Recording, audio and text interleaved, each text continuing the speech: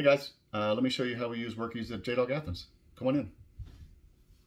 All right, so when I start my day, I typically come in here uh, on the left-hand side. I'll uh, check the schedule against, uh, you know, obviously the day of the week we are. It's pretty easy to understand both on the desktop and the app. Um, over here, I have the notes um, from the previous interaction and engagement, uh, both with this job and with this customer. You can just see um, a multitude of different options that you can track. Uh, if you're tracking uh, the team's time in the field, you have the ability to check that out from the timesheets.